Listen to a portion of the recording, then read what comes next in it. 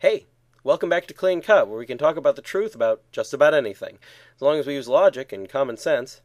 This season, we're returning to the topic of the Psalms and their meaning.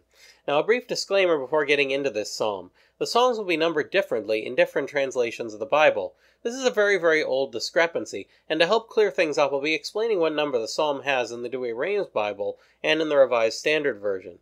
However, the episodes themselves will list psalm numbers as they're given in the Douay-Rheims Bible. Sorry if this is confusing. Anyway, this is Psalm 62 in the Douay-Rheims Bible, but Psalm 63 in the RSV. A psalm of David when he was in the desert of Edom. As we covered a couple psalms ago, Edom was one of the places that David and his men conquered later in life, and it was located in a desert region. O God, my God, to thee do I watch at break of day. For thee my soul hath thirsted, for thee my flesh, oh, how many ways! I long for God, body and soul, in countless ways. In a desert land, and where there is no way, and no water, so in the sanctuary have I come before thee, to see thy power and thy glory. I am in the desert, losing my way and running out of water, so I came to worship God, in the hopes of receiving some kind of amazing solution. For thy mercy is better than lives. Thee my lips shall praise. Thus will I bless thee all my life long and in thy name I will lift up my hands. I'll worship God for the rest of my life, because the mercy of God is better than anything else. Let my soul be filled as with marrow and fatness, and my mouth shall praise thee with joyful lips.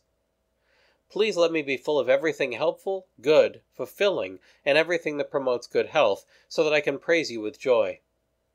If I have remembered thee upon my bed, I will meditate on thee in the morning, because thou hast been my helper and I will rejoice under the covert of thy wings. Covert of thy wings refers to the protection of a mother bird for its young. In short, this means that I'll keep God in mind before bed so that I remember to reflect on Him in the morning because He helps and protects me, bringing me joy. My soul hath stuck close to thee, thy right hand hath received me. The right hand refers to both the confidant who has the position closest to a king, and to the hand which holds the sword in battle.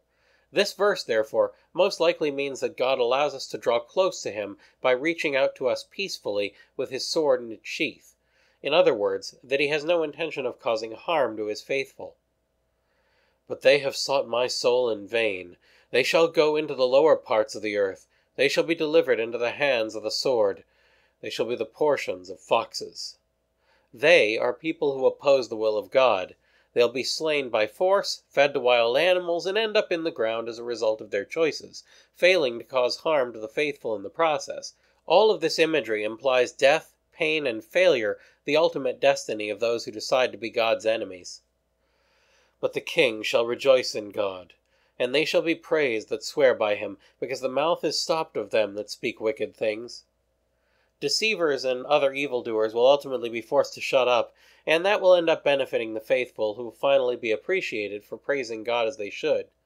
All the remaining rulers will obey God joyfully once they realize the truth. This verse also reminds me of the story of Naaman, a military commander who was overjoyed to be healed of his leprosy by God after doing what the prophet Elisha told him to in 2 Kings chapter 5. He swore he would never worship any god other than the Lord, though out of service to his king he'd still have to go through the motions of kneeling in the temple of his king's god Rimmon, and hoped he'd be forgiven for that. Elisha seemed to think he would be. Aside from mourning bad circumstances, this psalm has a little of everything pleas for blessings and protection, descriptions of good choices made in the past about a proper relationship with God, predictions about the fates of both just and unjust people, and of course, worship and plans for future worship. It's a nice all around psalm with an overall positive message. That's all for now, so keep asking questions, and thanks for watching.